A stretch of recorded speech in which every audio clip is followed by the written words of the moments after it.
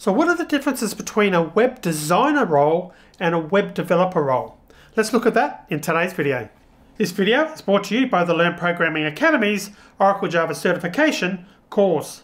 Becoming Java certified can dramatically increase your career options and this course is designed to teach you everything you need to pass Oracle's Java exam. Visit lpa.dev slash YouTube Java Cert or click on the link in the description below.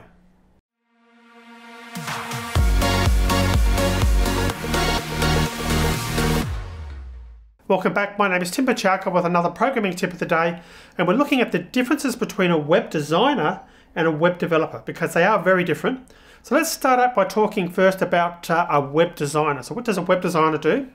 Well they focus more on the design of a particular page or website or whatever it is. So things like the layout, the look and feel, the color, the fonts that are employed, the uh, logos, and perhaps they create logos, images, just in general the look and feel of the website. That's what the web designer will focus on. The web developer, on the other hand, their goal is to take the design that they've got uh, from someone, in this case the web designer, and to make that work. So basically they focus more on the functionality of the website in terms of getting buttons to do something, getting data saved, basically taking that design, as I've said, and getting that to actually work so that someone can actually visit that page or website and get it to uh, actually do something productive rather than focusing on how it looks. So they're basically implementing the web designer's design. All right, so let's, uh, now we've done that, let's look at some of the tools of the trade that uh, a typical web designer will uh, look at. We'll do that first and then we'll talk about uh, web developers. So web designers, common tools that you'd use would be Adobe Photoshop, uh, Adobe Illustrator, Sketch is another one, but also Adobe XD is another product those types of products. So it's more a graphical product or a, a, prototyping type tool that they can actually take the design and put it into some format, a PDF format or some other format, so that they can actually see what their design is going to work with. So they can do a, a prototype, if you will, of what the UI is going to look like, and then they can, when they're finished with, and they've got an idea in their head or they've actually put it into one of these tools, they can give that to a web developer who can then try and implement what they've done and actually create a website out of it. Right, so that's web designer tools. Let's now look at some of my typical web developer tools. Well, common things would be an editor for, for, type, for uh, editing HTML or CSS code or JavaScript. So editors like Sublime Text is one, uh, VS Code, Visual Studio Code, Atom, they're common editors.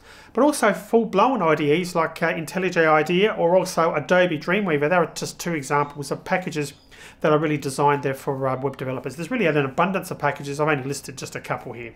Basically a ton more. Now, web developers, in addition to knowing packages and uh, knowing certain packages, need to have a good knowledge of HTML, CSS, and JavaScript as an absolute minimum. And I've talked about this before in a previous video, so check that out if you want to find out more about what these skills are and what they look like. They would be the starting point for a typical web developer to understand those technologies, those uh, languages, before they can then move on to uh, other things as well. Now, web designers, on the other hand, they need to, obviously good graphical skills. They need to have the skills to be able to, to design and create these things. But very importantly here, web developers don't. Basically, a web developer can go through the, his or her entire career with zero artistic abilities.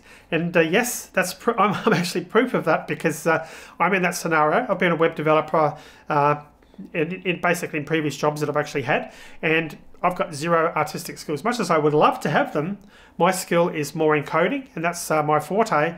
And I've gone through uh, my entire career without having any artistic abilities. So if you're thinking as a web developer that you may need to have some sort of uh, some sort of artistic skills, yes, that'd probably be a bonus, but you certainly don't need them because traditionally you find in a lot of cases, particularly when you start working for larger companies, there's a segregation of duties. So there's a specific web design section or department or a person, depending on how big the company, the uh, role is, how big their the jobs that uh, need to be fixed or actually created I is what I'm trying to say, compared to a web developer, which is like a separate role. So usually there's two separate roles and there's actually a handoff. So the web designer is more engaging with the end user to try and get an idea of what they're trying to achieve and they'll create the design, then they'll actually bring it to the web developers to actually implement. So completely separate. So it's fairly rare for someone to be a web designer and web developer. It's normally a focus, uh, one or the other.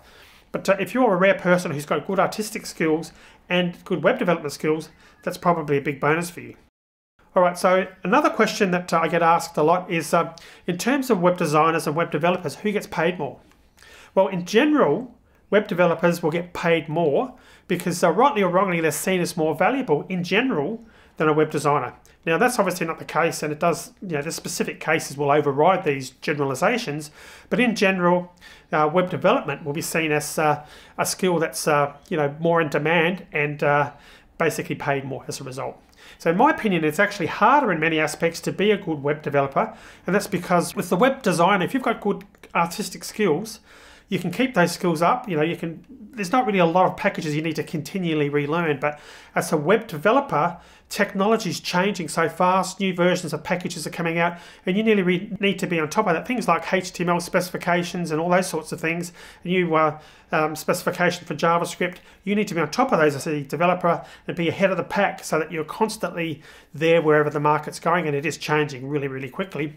Contrast that to a web designer. They, you know, once you've got your basic skills and you've got your basic skills in packages like uh, you know, Adobe Photoshop or Illustrator or Adobe XD or whatever it is, then you can maintain those and uh, make a good living without having to continually reinvest in learning new packages.